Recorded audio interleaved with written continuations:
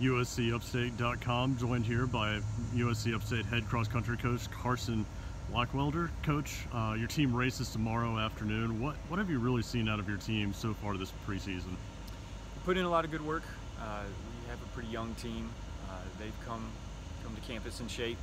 Uh, we've sort of tested them out, see where they're at, and, uh, and I'm pretty excited to see uh, the younger guys, our sophomores, the men and women, the fitness that they've gained over the last year, over the last this summer.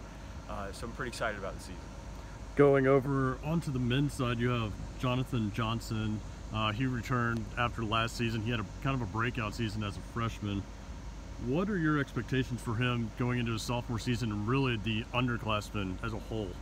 I see our underclassmen sort of leading the team at this point. Uh, we've got a couple seniors, but uh, for the most part, those sophomores are the core to our uh, to our success.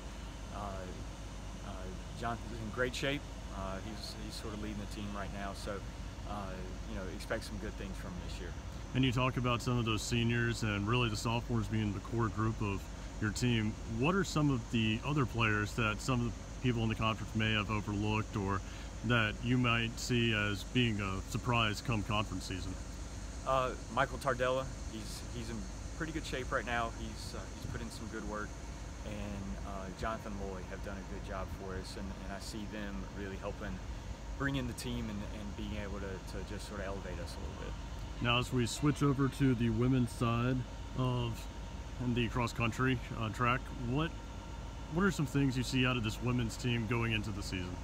Uh, the the sophomores now uh, that were freshmen last year, they've developed a lot. They've uh, sort of uh, figured out what college running is, and uh, they're they're really going to be again like the men's team, the sort of the backbone of our program. Uh, so we've got some some girls that are, are stepping up right now. So it'll be good to see how they develop over this season. And kind of just like the men's team, you've talked about how these sophomores and juniors really have complemented and kind of become a nucleus for your team so far this season.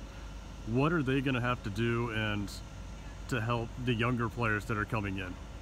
Uh, they just sort of lead by example, sort of bring them along and, and sort of explain, you know, the difference between high school running and, and, and college running and sort of the level of competition that you have to step up to.